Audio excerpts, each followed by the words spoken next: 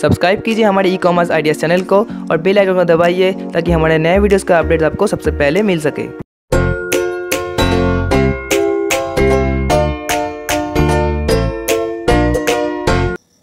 हाय friends मैं Abhishek welcome to our channel e commerce ideas पे। तो आज इस वीडियो में मैं डिस्कस करने वाला हूँ कि कितने मिनिमम स्टॉक लेके आप अपना ऑनलाइन जो बिज़नेस है, वो स्टार्ट कर सकते हैं। तो आप लोगों का बहुत ऐसा कमेंट्स मेरे को मिल रहा है, बहुत ऐसा मैसेज मेरे को मिल रहा है कि मिनिमम स्टॉक कितना लेना है ऑनलाइन सेलिंग के लिए। तो पहले देखिए, आपको ऑनलाइन सेलिंग के लिए ऐसा कोई मैंडेटरी नहीं है कि आपको लार्ज स्केल में स्टॉक रखना है। आपका हर प्रोडक्ट का स्टॉक बहुत लेकर ही आप ऑनलाइन बिज़नेस कर सकते हैं, ऐसा कोई बात नहीं है। तो आप पहले स्टार्ट नए हैं, आप नए स्टार्ट कर रहे हैं तो पहले आपको डिसाइड करना है कौन सा कैटेगरी में आप सेल करेंगे और क्या क्या प्रोडक्ट आपको सेल करना चाहते हैं, वो आपको डिसाइड करना है।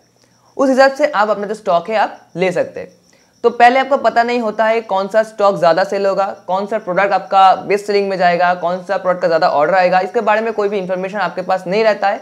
तो पहले आपको पहले कैटेगरी चूज़ कीजिए कि कौन सी कैटेगरी में आप सेल करना चाहते हैं।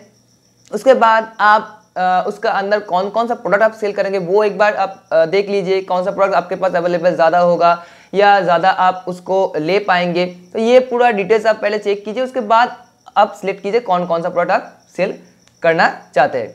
तो वो आप पहले सेट कर लिया, उसके बाद आपको जो स्टॉक लेना है तो वो तो आपको मालूम नहीं तो इस वजह से आप कोई भी प्रोडक्ट का जो सपोज़ के मान लीजिए आप चार प्रोडक्ट आपने शॉर्ट आउट किया, जो ये प्रोडक्ट मैं सेल करूँगा ऑनलाइन में तो उस प्रोडक्ट का आप पाँच पाँच या दो दो दस दस करके आपने ऑर्डर सॉरी आपने स्टॉक ले लिया।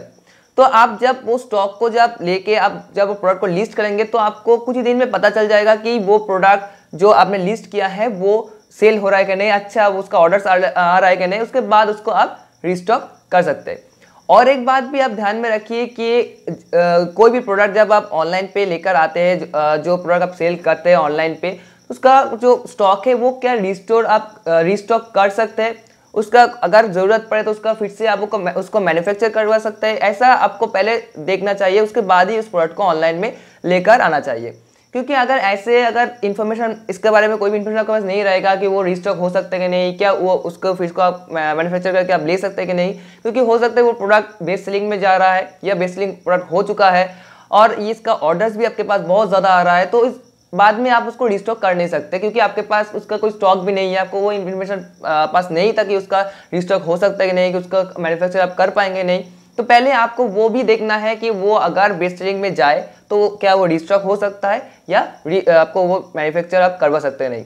तो उसके बाद ही आप उसको पहले दो तीन स्टॉक लेके आप उसको लिस्ट कीजिए।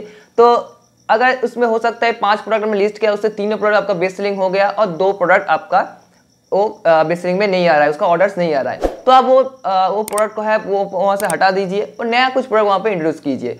इसमें क्या होता है, आपका जो लॉस है, वो भी ज़्यादा नहीं होता है। अगर पहले में आपको सौ, हज़ार या पाँच सौ प्रोडक्ट लेके आप स्टार्ट करेंगे, हर कैटेगरीज की, हर प्रोडक्ट का तो उसमें क्या हो सकता है, कोई भी प्रोडक्ट दो, तीन या चार जो प्रोडक्ट्स है, वो ठीक तरीके से सेल नहीं हो रहा है, उसका टॉप सेलिंग में जा नहीं रहा है तो वो आपको लॉस ज़्यादा कैलकुलेट होगा। तो इसलिए आप कम स्टॉक से लेके आप स्टार्ट कीजिए। दो या तीन से लेके भी स्टार्ट कर सकते हैं। मैं खुद का एक्सपीरियंस देके मैं बता रहा हूँ, मैं जब स्टार्ट किया था, उतना ज़्यादा प्रोडक्ट का स्टॉक भी मेरे पास नहीं था। हर प्रोडक्ट का पाँच छः साल ऐसा प्रोडक्ट का स्टॉक था, ज़्यादा कैटेगरीज भी नहीं था, ज़्यादा प्रोडक्ट का जो वेरिएशन वो भी नहीं था।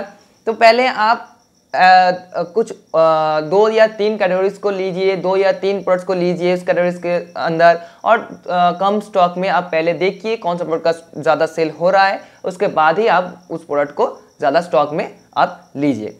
तो इस पर कोई मैंडेटरी ऐसा नहीं है कि ज़्यादा स्टॉक लेना ऑनलाइन सेलिंग के लिए आपको प्रोडक्ट का स्टॉक ज़्यादा लेना है या ज़्यादा स्टॉक के बिना आप सेल कर नहीं सकते, ऐसा कोई भी मैंडेटरी नहीं है, ऐसा कोई भी रूल्स नहीं है मार्केट प्लेस का। तो आप अपने जितना कम स्टॉक में आप जितना कम बजट में आप ले सकते हैं तो लेके आप पहले देखिए, उसके बाद ही आप अपने जो प्रोडक्ट है उसको रिस्टॉक कर सकते हैं। तो बस यही इन्फॉर्मेशन आपको देना था, क्योंकि आप लोग बहुत बार मेरे से पूछ रहे हैं कि स्टॉक कितना लेना ज़रूरी है, स्टॉक क्या कम स्टॉक से मैं स्टार्ट कर सकता हूँ, बहुत ऐसा मैसेज मिल रहा है। तो इस वजह से मैंने सोचा कि इसके ऊपर भी थोड़ा आपको इन्फॉर्मेशन दे दूँ ताकि आपको भी थोड़ा हेल्प हो। तो इस वीडियो में यही मेरे को आपको बताना था कि स्टॉक कितना आपको लेके आप ऑनलाइन बिज़नेस स्टार्ट कर सकते हैं। तो उम्मीद करता हूँ इस वीडियो से आपको थोड़ा बहुत मदद मिलेगी। अगर इस वीडियो को आपको अच्छा लगे तो प्लीज़ लाइक कीजिए शेयर कीजिए और अभी भी आप हमारे चैनल में नए हैं तो सब्सक्राइब ज़रूर कीजिए और बेल आइकन दबा दीजिए ताकि कोई वीडियोस आप हमारे चैनल की मिस ना करें। और आप हमारे चैनल को सोशल मीडिया पर भी फॉलो कर सकते हैं। लिंक आपको डिस्क्रिप्शन बॉक्स में मिल जाएगा। तो आज का वीडियो इतना ही, मिलता है अगले वीडियो में। तब तक के लिए धन्यवाद।